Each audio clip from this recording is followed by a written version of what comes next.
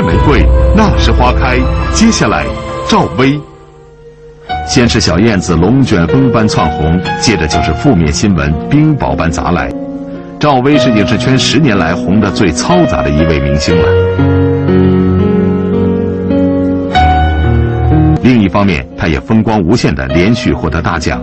包括2005年的华表奖最佳女演员和上海国际电影节最佳女演员，2006年的第八届长春电影节影后。有人说赵薇的走红得益于她那个时期女明星的青黄不接，所以才有了连她在内以及章子怡、徐静蕾、周迅四大花旦的集体出现。也有人说赵薇的走红得益于上个世纪末人们悲观而又绝望的世纪末心理。疯疯癫癫的小燕子和五音不全般的爱情大魔咒，给背负沉重负担的人们带来了反叛的激情和制造快乐的勇气。所以，赵薇的走红完全是赶上了百年不遇的机遇，一个世纪在最末几年里才会有的机遇。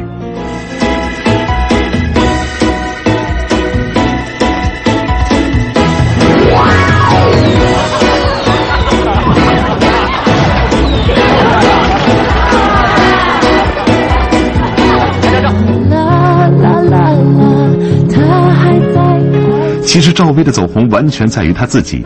这些年来，她从未停下脚步，不管是在顺境里还是在逆境里，不管是在电影方面还是在电视剧方面，她在少林足球里勇敢扮丑。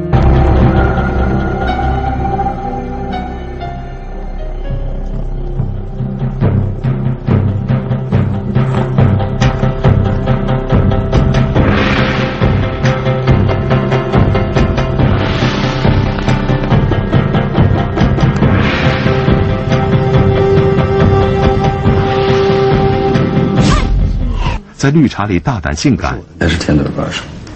我才没有天嘴八舌，这是我的职业大众才行啊。直到二零零五年，凭借《京华烟云》赢得二零零五年最高的电视剧收视率。义父，不老，只要能把你保出来，怎么都无所谓。你应该知道你的生命对于我妹妹有多重要，还有我。有你这样的红颜知己，我也就心有遗憾了。不，我要你活着，我一定要你活着。二零零六年考研接拍电影《夜上海》，希望用新的充电和更好的作品，让那些非议他的人闭嘴。赵薇用事实告诉人们，她是一个肯于上进的人。影视圈不乏钻营者，但影视圈和所有地方一样，更愿意高额回报那些肯于上进的人。